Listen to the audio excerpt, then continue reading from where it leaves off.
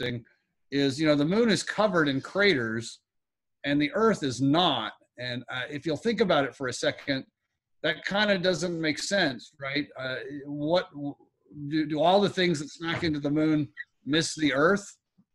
Um, and the answer is if you think about it uh, is that uh, there's something that protects the earth from chunks of rock mostly chunks of asteroid stuff 今天我 Yes. 们的作业就是那个看他们的作业，你知道是什么吗？ oh m- mute 有项目不是？有什么？ No, no. Okay, th- thank you, Irene. Uh, okay, so it's the uh, it's the atmosphere that protects the Earth. Um, what we call falling stars are actually chunks of rock, uh, small to large, mostly small. Large ones make more spectacular things. And even when a large chunk of asteroid or other debris punches through our atmosphere, it actually reaches the surface of the Earth we have things like wind and water and continental drift that erase craters from the surface of the earth. The moon doesn't have any of that so every uh, crater that's been on the moon for millions of years is still visible. So going through the requirements sketch the face of the moon with the seas and craters uh, use a diagram from your merit badge book or feel free to get one online uh, and fill that in 6b uh, is you're going to be sketching the moon four nights in a row and showing its different positions and its phase. So I've got a little diagram on there that is the same one from your merit badge book, which explains why the moon has phases. Now the phases are like full moon, you know, waxing, first quarter, and full, and then it cycles back around. So as the moon rotates around that elliptical, you know, around the Earth, you can see the sunlight coming in from the right. So when the moon is new, all the sunlight's on the other side of the moon, so we don't see anything. That's called a new moon. When the moon is all the way on the other side of the Earth from the sun, uh, the entire face is lit up and you see a, a complete circle. That's called a full moon. As it cycles from new to first quarter, you know, it waxes, waxes, waxing means it gets bigger, a waxing crescent, first quarter, and then a waxing gibbous to full.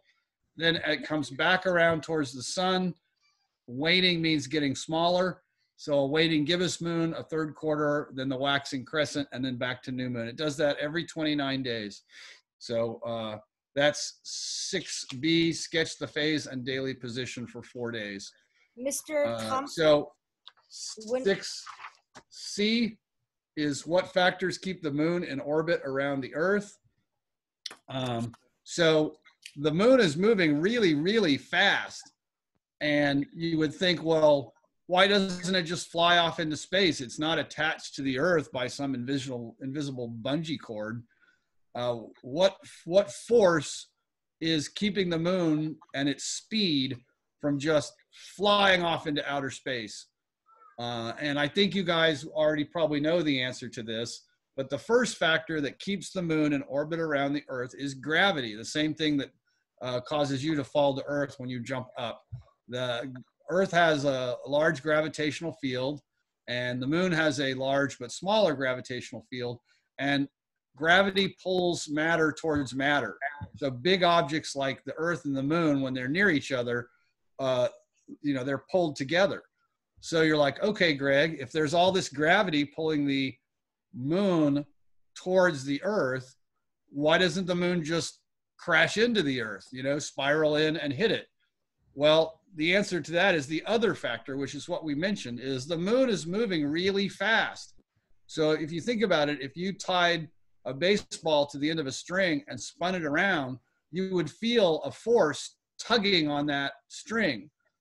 Uh, the the vector of the moon is away from the Earth, and so the two factors are gravity and motion, and they're perfectly balanced to keep the moon almost right where it is. It it vary it changes very little, and so uh, the same two factors, gravity and motion, uh, are what keep the Earth in motion around the sun and the solar system in motion uh, in in the Milky Way and the moon in motion around the Earth. Uh, so that's 6C, what factors keep the moon in orbit around the Earth. This is true for satellites and uh, the space station and anything that's uh, orbiting something else. When something's orbiting something, the two uh, uh, forces are in perfect balance, right? Uh, if you sped up the moon enough, it would just fly off into space. If you increase the force of gravity, it would spiral in and crash. So they're perfectly balanced to keep the moon circling around and around and around. And there's nothing to slow it down, right? Here on Earth, we have atmosphere. And if you had something spinning around something else, it would slow down. If you throw a baseball, it slows down pretty fast because of, uh, uh, you know, resistance to the air. And, you know, if you put your hand outside the window of a moving car, you can feel that resistance. When you get out away from the Earth's atmosphere into outer space, there is no atmosphere to slow things down. So if you fire a bullet away from the Earth out into space, it's just going to keep going forever at the same speed until it encounters some other object. Um, so that's gravity and motion are the So it's factors. like stuck in a free fall. Yes, essentially that's correct. Uh, If you get away from a gravitational field uh, out beyond the Earth, uh, you experience essentially a condition where there's no up. Uh, every direction is up or down. It's called free fall. And when you see uh, astronauts floating around in a in a capsule, they're in that state. They're they're not being pulled towards the Earth fast enough to feel. So they they it, you just float. Yeah. Okay. Uh, so that should be 6C. 6D is that same diagram that I have on the screen as in your merit badge book. Uh, so just fill in uh, those eight boxes on what the different phases are on the relative uh, position. So obviously, when the moon is between the Earth and the Sun, that's a new moon. When the Earth is between the uh, Sun and the Moon, that's a full moon. And you can fill in the others from there. What?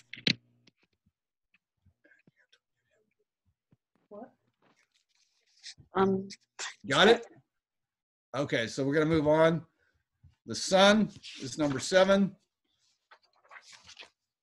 Describe the composition of the sun, its relationship to other stars, and some other effects of its radiation on Earth's weather and communication. So as I told you, we figured out the composition of the sun by taking spectra of the light that it emits and figuring out what elements are glowing.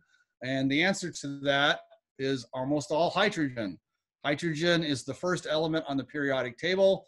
Uh, it's the simplest and lightest of the elements. It was almost all manufactured in the Big Bang, and huge clouds of hydrogen were formed throughout the universe. Eventually, gravity drew those clouds together, and when enough gravity crushes that hydrogen into a ball, if there's enough of it and there's enough gravity, it eventually lights the force of fusion, and fusion is when two hydrogen atoms are pushed together and make a helium, releasing energy.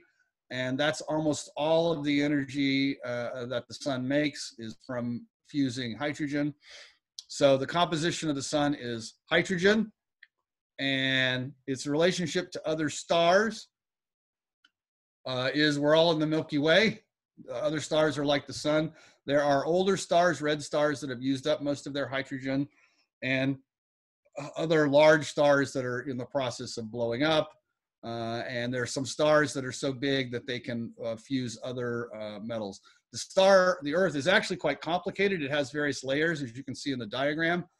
Uh, the fusion happens in the center mostly, and that creates convection currents, and then there's rotation. And so all that stuff makes really complicated weather. Now, not weather like we have on the Earth, but like currents of convection and rotation. And because the thing is rotating so fast, it makes a very strong magnetic field, uh, like a magnet in space spinning around. And those fields get tangled up as, as parts of the sun rotate around, and it causes sunspots.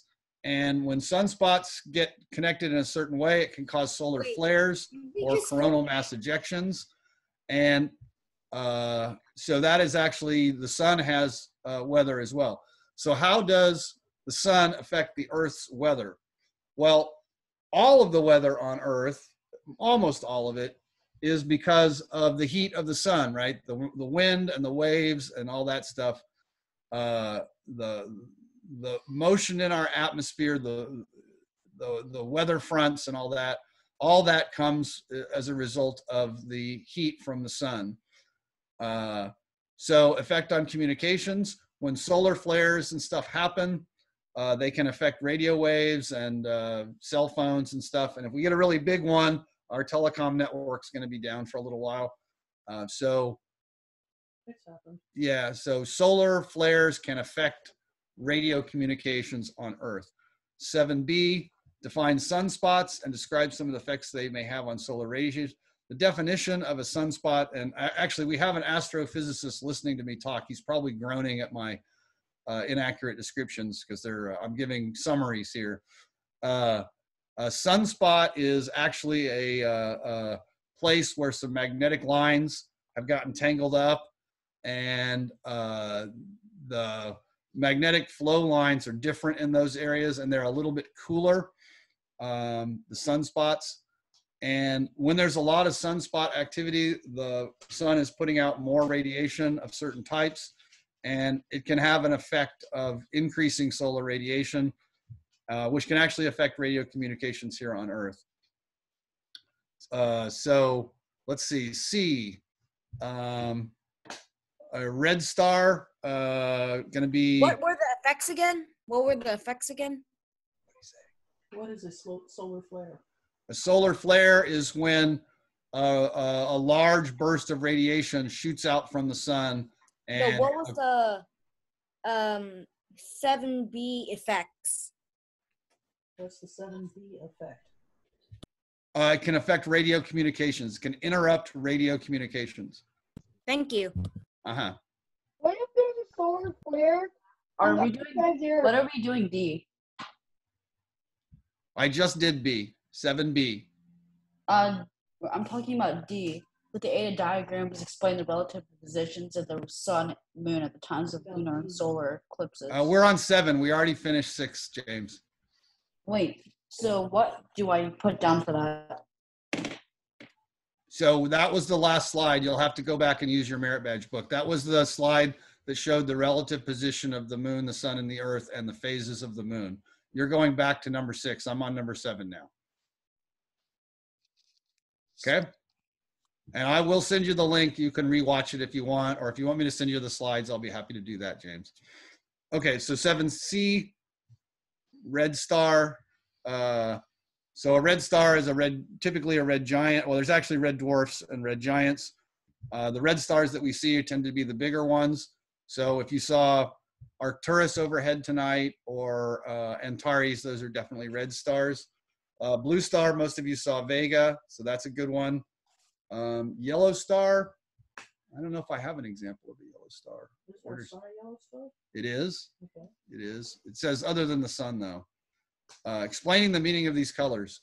Uh, well, red usually means cooler, blue usually means hotter, and yellow usually means young. Uh, although that's a oversimplification of the lifetime of stars. Could So red star, Antares, big, cool. Blue star, young, bright. Uh, yellow star, middle aged, burning hydrogen. And that's the meanings of those colors. And this stuff is in your merit badge book. So you should have the answers to 7C are fairly straightforward. All right. So uh, that gets us to the number eight and nine. Number eight is going to be our star party and our live viewing session. Uh, I think what we're going to do is we're going to skip ahead uh, to number nine because number eight is you're going to be doing B, plan and participate in an observation session, which we are doing tonight, which is going to include a telescope in a minute. So that's it for the slides. If you would like a copy of the slides, uh, email me or I'll post them on Google Docs or whatever.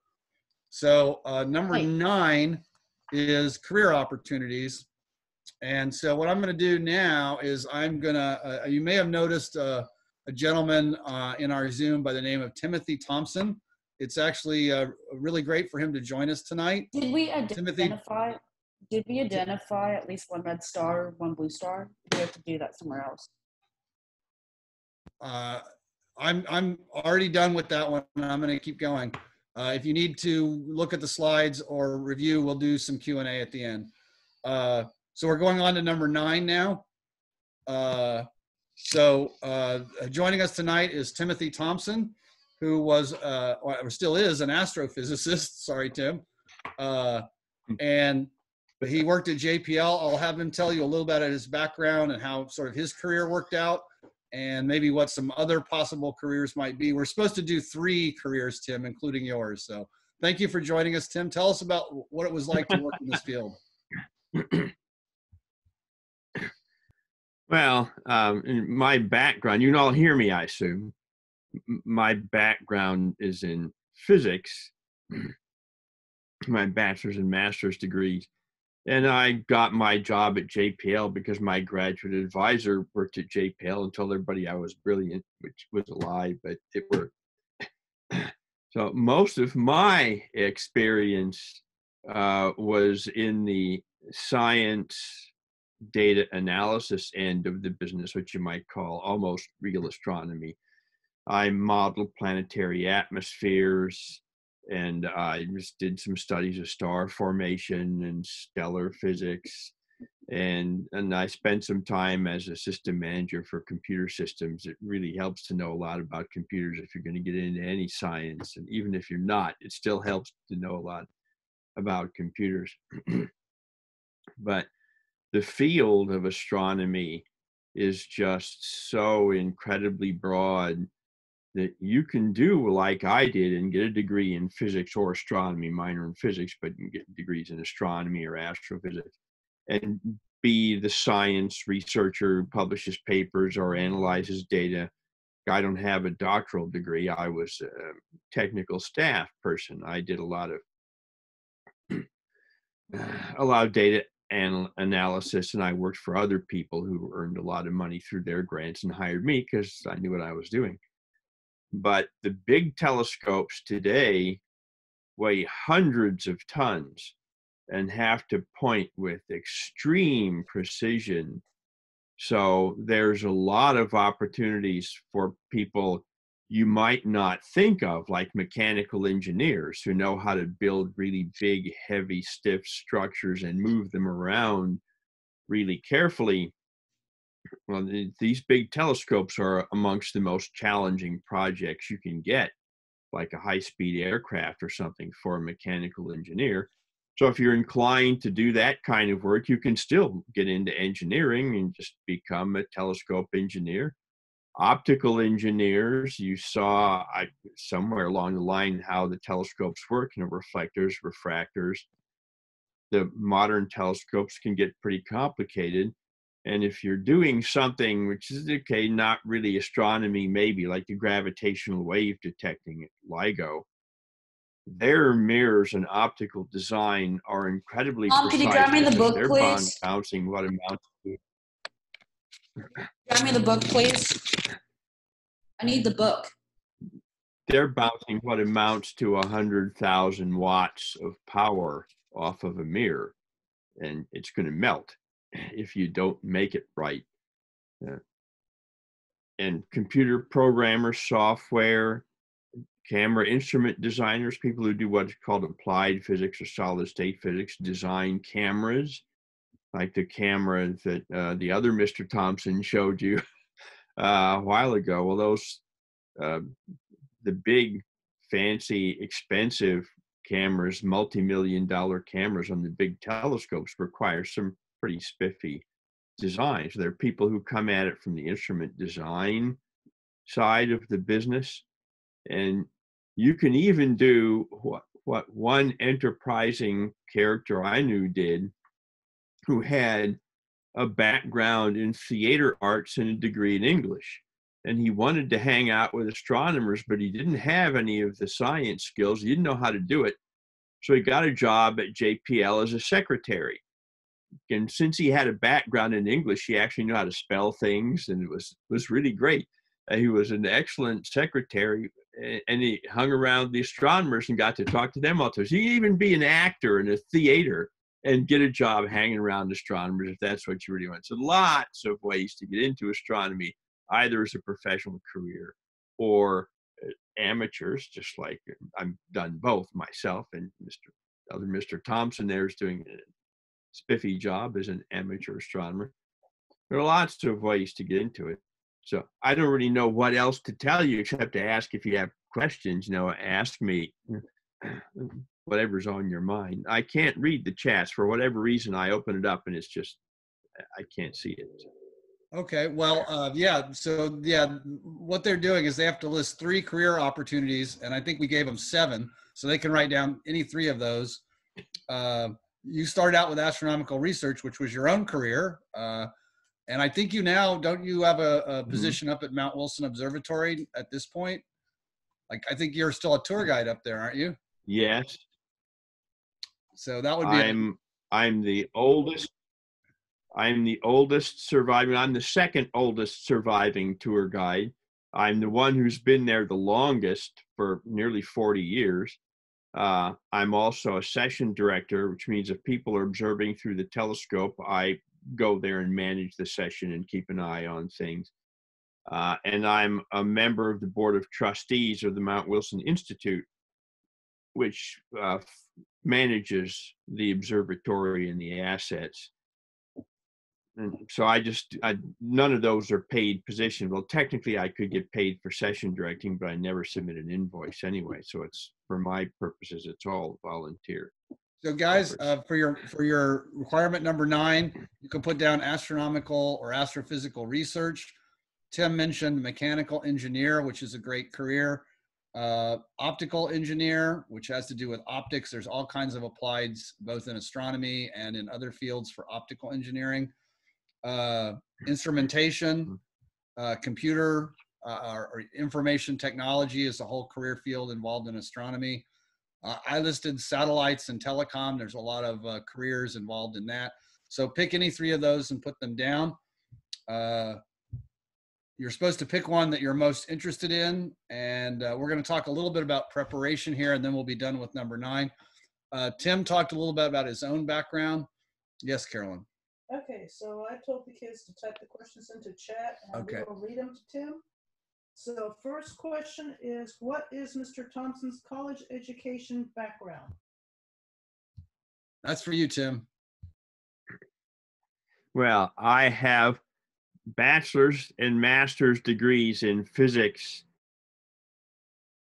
University Los Angeles, which has a good physics department.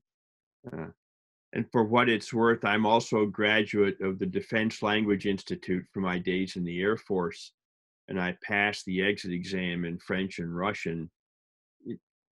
I suppose you could say that foreign languages are not a requirement to do astronomy, but I cooperated with teams in France, Sweden, Japan, from all over the world. And it certainly helps if you're multilingual to be able to talk to people you know, in their own language occasionally. It, it, the people to people thing is real in all careers, in all fields, and it can only help you. Yep, I think also for the uh, uh, at least at the point you guys are, you know, uh, approaching or in high school and maybe headed on to college, I would certainly uh, the computer and math skills, like in all of those fields, those are going to be preparatory. All those different possibilities Tim mentioned. Uh, maybe even for uh, being an actor or English, you would need some math skills if you were going to work at a a job that was related. But I secretaries today have to be smarter computer people than the people they work for. So you can't you you can't get away from the computers these days. Uh, so yeah, I mean physics, math, computers. These are all areas that would be prepared. We have another question here, Carolyn. What is it? Uh, Byron's asking, what types of jobs did Tim do? Okay, uh, Tim. I believe at JPL. What was your actual title at JPL? What did you do? my title changed around a little bit and nobody was altogether sure. I once asked what they called me a member of the technical staff, but when I asked my boss, isn't there something better? So yeah, you can call yourself a research assistant. But when I went into the terrestrial sciences element, uh, my element leader said we should change you to software engineer because they're leaving the lab and if we change your job classification they'll give you a pay raise so that you won't leave which i wasn't going to do anyway but we did that and, and it worked. They get, raised my pay immediately. But i was a software engineer and so technically my title was software engineer because it made me more money. But What I actually did was a lot of computer programming, specifically to analyze data from planetary atmospheres and imagery from instruments like the Spitzer Space Telescope, which was the last big project I worked on. So that's an- analyzing data coming from instruments uh, and actually figuring out what what atmospheres exist on remote planets. It's a a pretty astronomy related series of tasks to do in those days. I think a pretty a, a lot of physics and math, I guess, Tim. a lot of physics, a lot of math, and you must remember that the computers are so very different now than they were when I started. We didn't have digital readouts. We had strip charts with pens on them, like the seismographs. And when I went out to Goldstone and we looked at Jupiter, we watched the paper scroll out of the machine and looked for the wiggles on the ink line and the data was recorded on magnetic tape. We couldn't see it for days. They had to ship us the magnetic tapes, and uh, so now you see everything happens in seconds, right in front of you. You guys Right, have terabytes of data instantly, right? Okay, well, thank you for sharing, Tim. Uh, I think some people are asking like, what kind of training do you need? And I think, uh, you know, the things we've mentioned, uh, there are different career possibilities, but uh, computers, a good basis in math, uh, perhaps some physics or science courses, both uh, in high school and in college. Uh, these are setting the stage for all these careers, depending on what you're interested in. Uh, I think someone said an astronaut. You'll find that most astronauts these days have a very similar career path starting out in high school, uh, where computers, math, and sciences form the core uh, that is going to be expected of an astronaut. There are some other things involved in being an astronaut, and you have to get in some special training programs, typically uh, through defense contractors or the military. Uh, and if I could get you an astronaut on here, I would, but uh, we got an astrophysicist, which is pretty cool. So thank you, Tim. We have uh, 30 minutes remaining. And Yeah. One last question. What Yeah. inspired Mr. Thompson to go into the astronomy, astrophysics? All right. What, what inspired you, Tim? What inspired me? Well, it's a long story. uh, I actually started out as a philosopher, and I decided that wasn't for me because it was, I found it to be an undisciplined field. and so, uh, but I went from there to mathematics because mathematicians are disciplined in a way philosophers are not. But mathematicians have no use for reality it's, it's totally meaningless to a mathematician. It has nothing but logical relationships. That wasn't for me either.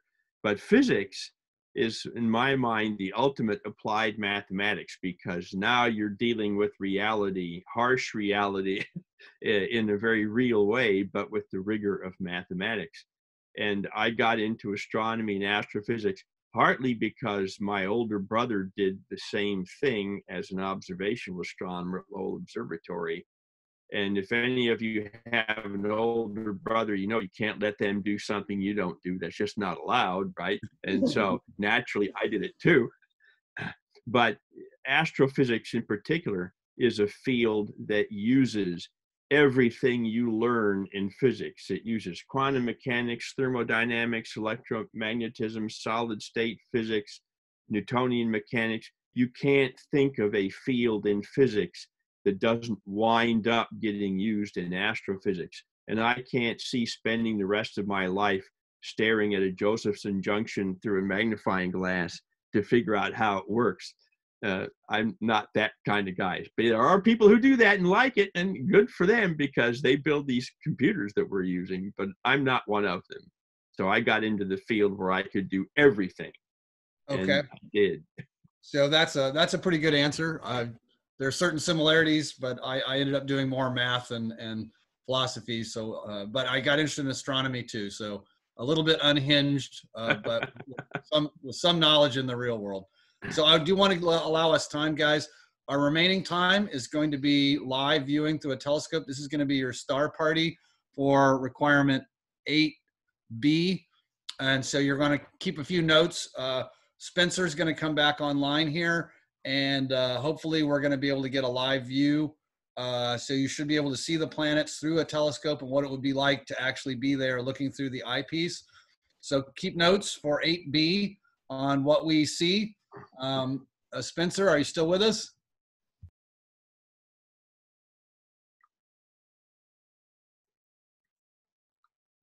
Are you guys able to hear me?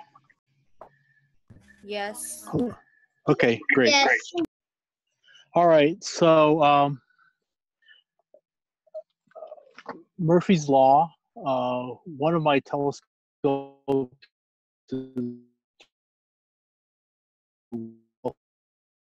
We can't hear you. in drifting, so, but the, on the plus side, Jupiter and Saturn, let's do a screen share. Uh, let me share the screen. Yep. Hopefully we'll we'll see that. That would be good. Okay. Uh, uh, let's see. Can I? Uh, let's see. Can you let me share?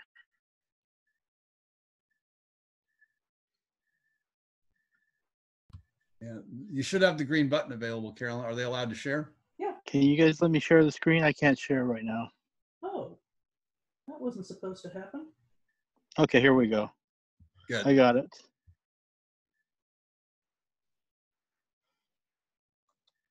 All right. Anybody recognize this? Are you guys able to see this?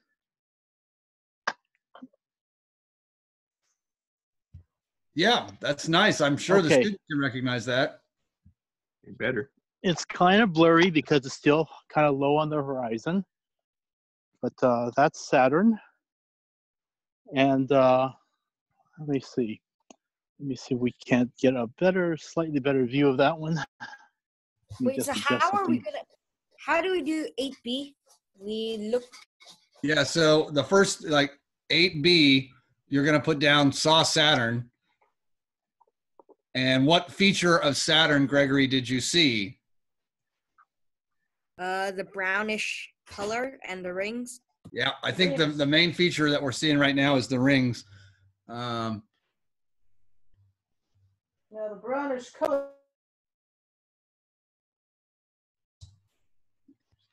yeah, so right now Saturn is just rising tonight. Um, so it's close to the horizon. What Spencer means is when something's close to the horizon, it has to pass through more atmosphere and it's blurrier. As things rise up higher in the sky, there's less air to look through and it gets clearer. So right now we're, we're able to see enough of Saturn to see the rings. I don't think we're seeing much other features. You can see the central planet itself there. Yeah. Okay, so let me just uh, hang on one second. Let me, my camera's freezing on me for one second. Just a second here.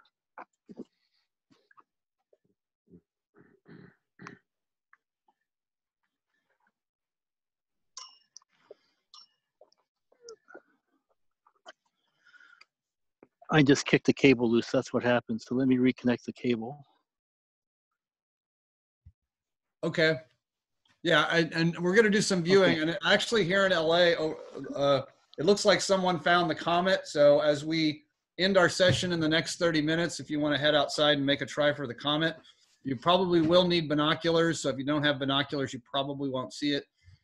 Uh, but right now, uh, Jupiter and Saturn are above the eastern horizon. Um, so hopefully, if you guys know where Polaris is, you face towards the mountains basically, and that's north. On your right hand side will be east. That's going to be where Jupiter and Saturn are.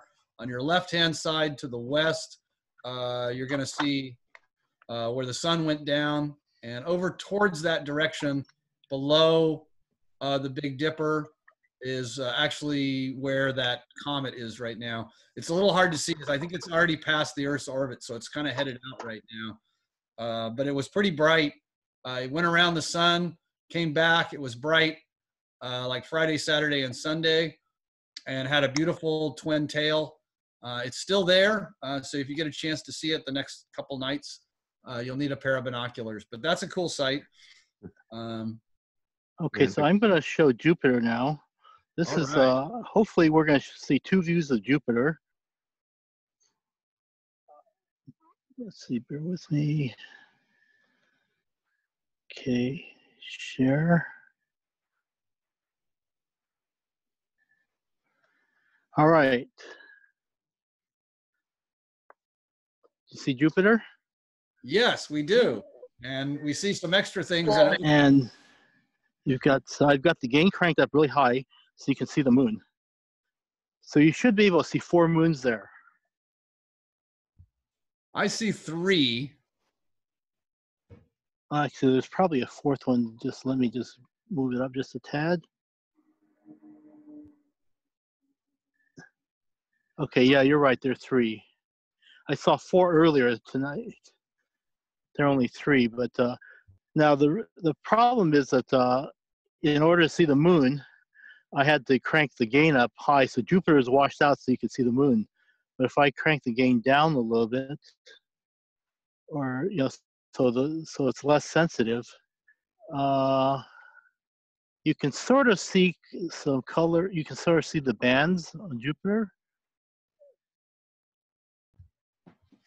Let me just Yeah, I see Move my moving faint, magnifier. Yeah. Why is Jupiter Okay. blue? Uh, I've got a filter on there that blocks out a lot of the light pollution, and so it unfor- so what it does is it shifts the color spectrum. So basically, it's a filter that selectively blocks out the sodium and mercury vapor lights, Okay. and so it the byproduct is uh, it shifts everything to blue.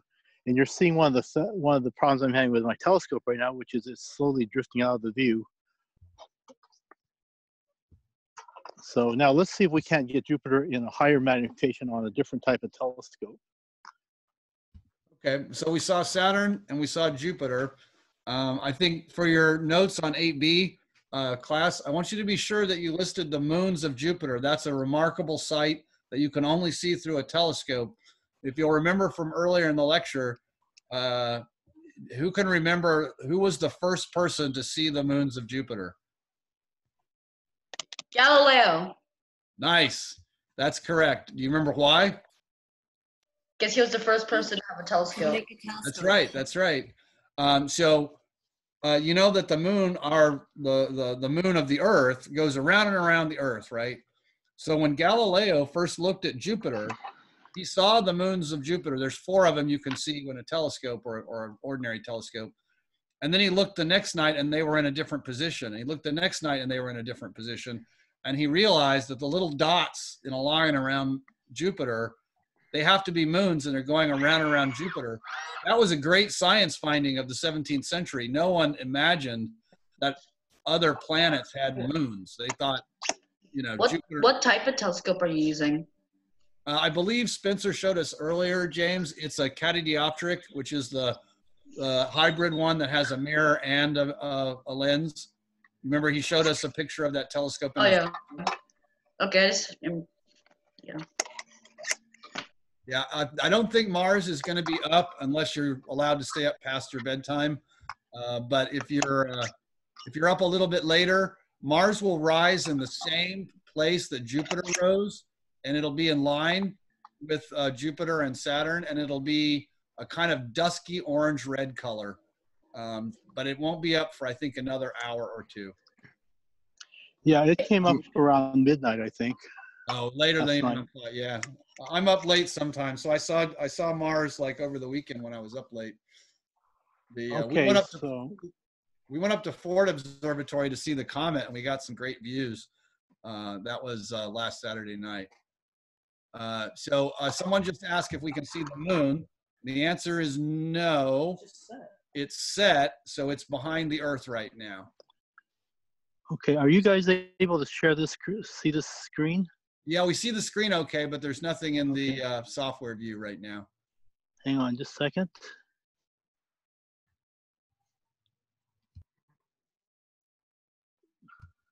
So um, as we approach the end of our class, uh, we're doing our observing, and Spencer is actually doing some pretty technical stuff with his camera and the software to provide these live views for you. Okay, are you able to see that one now? Oh yeah, that's really bright. Okay. Now, okay, so it's really highly magnified, and Yeah. I'm starting to bring in uh, Yeah, I, I saw some banding there. decreasing the sensitivity. So you, There it is. okay, there you go. You see Okay. that? Awesome. Beautiful. Is the red spot not there? Are you guys able to see that? Yeah, yeah, we're able to see it really well. Hey, Spencer, could you explain why? What is it? Now, I think I think that's a great red spot, right? Yeah. It looks like that to me. That's what it looks like to me too. Uh, Spencer, could you describe why Jupiter appears to be moving around and changing shape? Sure. Uh, you're going to you're looking. It's, I think the way to think of it is uh, look. You have a glass of water, and you uh, you're looking through the glass, and you have uh, you touch the water. You have ripples, right? And so you're seeing the ripples uh, distort the image. So what's happening is Jupiter's coming through right now. Jupiter is still fairly low on the horizon. It's getting up there, but uh, it's going through a lot of atmosphere, and so the atmosphere is just moving. There's turbulence in the atmosphere, and so as the light goes through the uh, through the layers of the atmosphere, uh, the it refracts ref, refracts the light, and so it bends it, and so it bends it in random fashion, and so that's why you see it wavering and shimmering like that. So it's not Jupiter. Same idea it's- behind. It's the atmosphere that we're looking Yeah. through, right? Yeah, exactly. Same idea behind uh, stars twinkling. You know, stars twinkling because the light's going through the atmosphere. So in this case, uh, with the star, it's a single point of light, but with Jupiter, it's a large object, and so you're just seeing a lot of the uh, the waving pattern. So let's see. Now Can with- anyone, can anyone in the class think of a telescope that that doesn't have this problem? That doesn't have uh, uh, uh, problems with the atmosphere? We I showed you a picture of it at my Hubble. presentation. Hubble. That's correct. That's correct. The Hubble Space Telescope is above our atmosphere, so it can take very clear pictures, not subject to the uh, this this thing. Also, and I know this is something Tim knows about. There's a reason that they build the world's best observatories on top of the world's highest mountains, because the higher you go up in altitude, the less atmosphere you're pointed through. So even just going up to Mount Wilson above Pasadena, which I think is above 5,000 feet, it's much better than being down here in the city. And if you go to the uh, some of the observatories now in Chile, uh, Mauna Kea is at like 14,000 feet, I think. Mauna Kea is 14,000 feet. I've been there. Not only do you have less air to look through, you have less air to breathe, and that actually becomes important. You, you do have to worry about that. Uh, well, so yeah, so the modern telescopes that you know astronomers want them as high up as possible. And Tim's right. If you go up to 14,000 feet to do your research, you need to, you need to be in pretty good shape and be kind of careful because there's not a lot of oxygen up there. All right. Uh, so uh, anyway, for your uh, your star party notes, um, you know, you've seen the moons of Jupiter, you've seen the rings of Saturn, you've seen the great red spot and the stripes on Jupiter. So these are just the notes for what did you observe.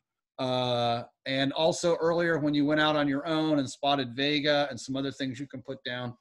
So uh, we're going to stay on till 10 o'clock or a few minutes after for those of you that have questions.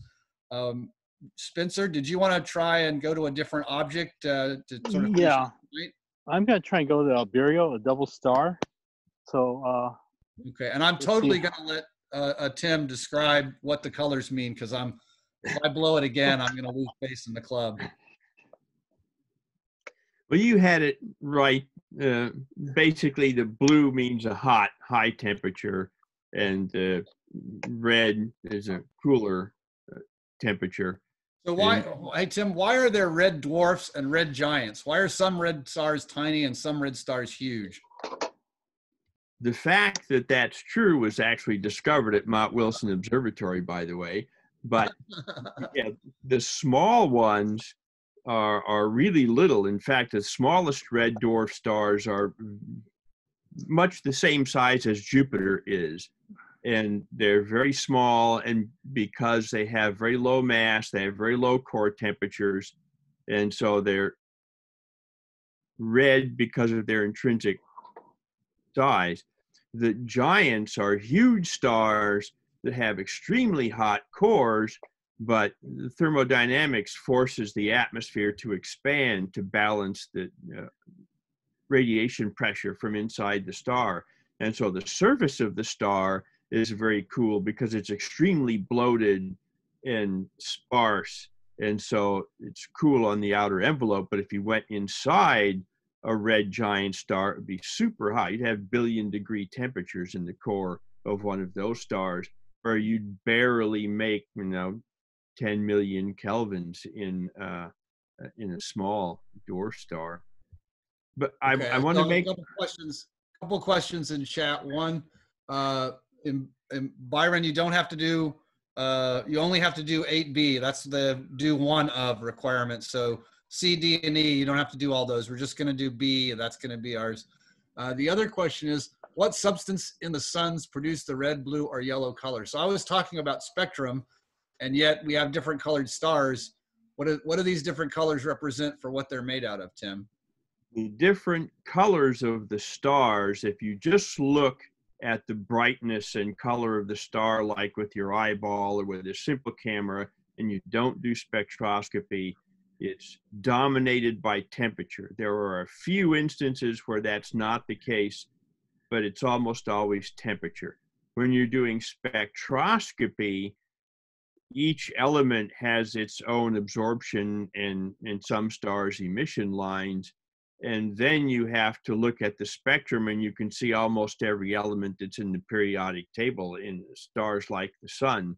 Uh, certainly uh, every element uh, well lots of elements. Most of the non-radioactive elements and even some of the radioactive ones you can see in the sun.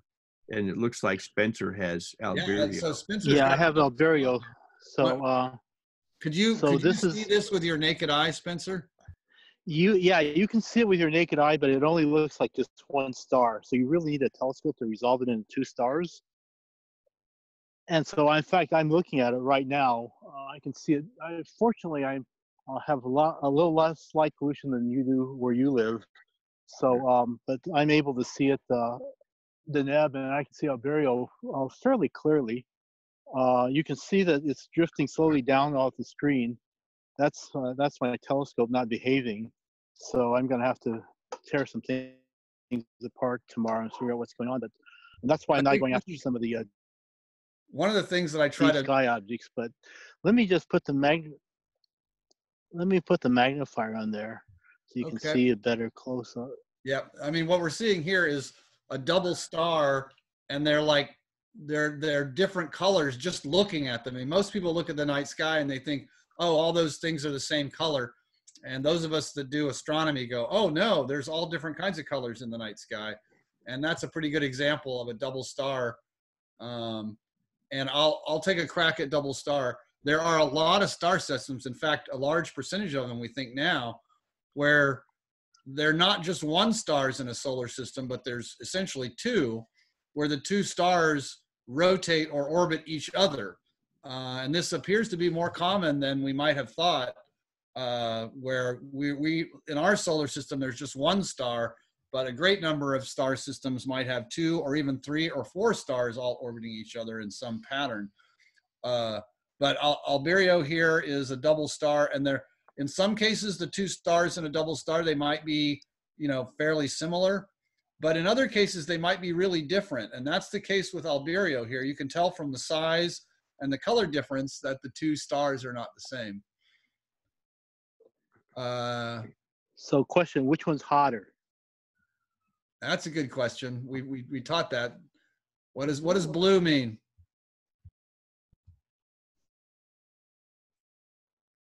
It's big and young. That's right. That's right. Uh, in this case, uh, the, the blue star is probably the hotter star. Someone typed in a question about black holes, which is a great question here at the end. You know, black holes, uh, we just imaged the, the first black hole, or actually the, the system around it. Uh, uh, when I say we, I mean the human race, not, not me and Spencer, because it's really far away and requires a whole bunch of data. But yeah, so you know, as stars get bigger and bigger, the force of gravity, you know, crushes the star, you know, with greater gravity in the center. So eventually, stars can actually fuse uh, hydrogen into helium, then like helium into lithium and carbon. Helium into carbon. Yeah, lithium into into carbon, Oxygen and all the way up to iron. all the way up to iron. So as gravity gets bigger and bigger, it, it eventually when it reaches iron, if you if you fuse iron, you don't get any sunshine out. There's no energy that really comes out. But you the star can keep collapsing if it's big enough, and you- reach a certain point where the resistance of the matter to the power of the gravity it can't hold up anymore, and the whole thing collapses into itself. And we just call it a black hole because we don't know what's in there. We have no no real idea. It's a it's a gravitational hole in the universe. Uh, light, uh, the gravity is so powerful that light can't even escape it, which is why we sort of say black. Uh, it just means no no nothing comes out of here. Now things that orbit a black hole orbit at really really high speeds, and that can heat them up. So we can actually see some of the radiation from around black holes, but nothing from the black hole itself. And again, black hole is one of those astronomical terms for something that we know exists, but we don't. We know some of its properties, and and we've measured how they work. But if you said, well, what's inside a black hole? The answer is kind of like, uh, yeah, a, a, a- a hole in the, you know, it's a gravitational hole in space. We don't really know, and we never will because any instrument that you flew into a black hole Crush. would be crushed and would never be able to communicate with you because nothing can escape a black hole, even light. Uh, um, so, uh, yeah, so two black holes when they crash into each other, uh, it actually, uh, I'm glad you mentioned that. You're kind of correct. It makes two black holes, but it's a really complicated process because as they approach each other, their motion, like a skater, gets faster and faster. They're orbiting each other super, super fast, and they're super, super heavy. So actually, that rotation and the gravitational effects, like if you put your hand in water and you pushed it forward and back, it would make a wave through the water, right? Well, black holes orbiting each other uh, as they approach each other create gravity waves. And only in the last couple years have we built a detector called the LIGO detector. They actually measured two black holes or a neutron star and a black hole, I forget which, collapsing into each other. And like like ripples in a pond, space itself was warped uh, in these waves, and they measured it. So uh, once they do combine, they do form into two black holes. They do combine a black hole, and I think someone answered that question. But the process itself is quite complicated and interesting, and a topic of current research because it's you think about it all like radio waves and x-rays and visible light and ultraviolet like that's all electromagnetic radiation that we use our instruments gravity waves are a whole new way to look at the universe that no one has ever done so in essence kind of like galileo all over again these guys have invented a way to observe the universe in a whole new way and the first things they're able to measure are the black holes collapsing into each other and, and also neutron stars Okay, Spencer, there was a request. Uh, could you find uh, Comet Neowise? Hey, Spencer, can you hear us? I'm sorry, say that again. I didn't hear that. Uh, there a request if you could find Comet Neowise. Comet Neowise, uh, right now it's 10 o'clock. It has set behind some trees. The optimal time to see it from here was about uh, between 9.15 and 9.45. Uh, so it's, uh, I'm looking out and I can kind of see if I really squint and use my I see his tail coming out from behind a couple uh, couple of trees. But uh, get to see it do so. It is spectacular. I went out to uh, our Lockwood Valley site on Sunday, uh, Monday night, and saw it there, and it was just gorgeous. You could see it naked eye visibility. I think it looks a lot So yeah, better with unfortunately, uh, this is a bad place to see it from. Yeah, yeah, uh, on I'm Saturday night, the lot better binocular view was just amazing. I I really, wa- I could see both tails. It was really cool. Yeah. Talking, I was going to try and get to uh, to uh, Altair. I mean, sir, Antares. Oh, Antares over in Scorpio. Yeah, we were trying looking Yeah. for that earlier when we went outside. Okay. Hang on, I'm gonna, hang on, I'm gonna close this program for a second, and start it up again. Okay. So it's coming up on 10 o'clock. Um, I'm going to stay here an extra 10 minutes uh, because I know some of you are getting ready to wind down or finish up your packet or ask a question. Uh, the live viewing session, if Spencer can get something else up in the next few minutes, we can take a look at that as well. So, um, The question for Greg, uh, from Gregory Ann, can we only draw moons for six B? yeah, I typed in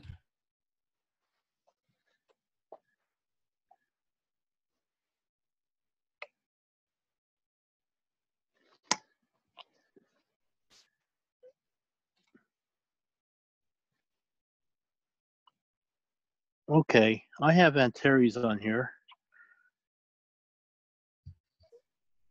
If Uh, I can't. you- Go ahead. Okay, so um, let me just magnify it a little bit. Uh, and you're not sharing right now, Spencer. Oh, sorry. Okay, let me just Yeah. share it.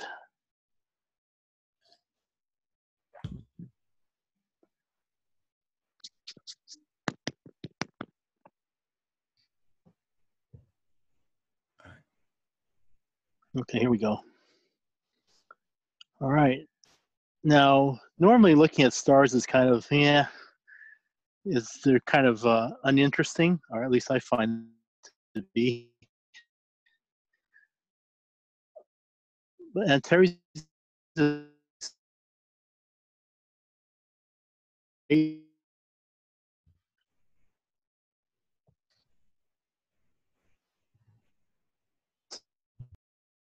see the color here. Yeah, so you're seeing a lot of the distortion caused by the atmosphere. And like I said, most of the time I don't like to look at stars because they're just kind of boring. But that's in Antares, so you can put that down in your list of things that you saw through telescope, I guess. All right, so I'm I'm gonna have to do some troubleshooting. I can't figure out why my my stuff is. It was so solid for so such a long time. Oh, Suddenly tonight it decides to act up. okay. Well, we're, our next class is until August, so you have some time. Thank you so much for sharing Okay, your right. telescope and also uh, the objects we were able to see. Um, uh, the students uh, were, were essentially done at this point. Uh, we've covered every requirement, um, either the prereq or the answers.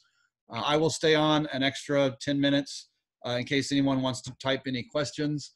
Uh, and I hope all of you can finish your packet and email me uh, your worksheet and your pictures so that I can sign you off a blue card. And thank you for joining us for these three hours. We're happy to share all of our stuff with astronomy. Please thank Spencer and uh, uh, and Tim for joining us to help us out do this. Carolyn, my wife, there's a big effort to put it together. We really appreciate everyone working to help these scouts see all this cool stuff and and earn a badge along the way. So thanks a lot. All right. Okay. Good night. Good night. Right.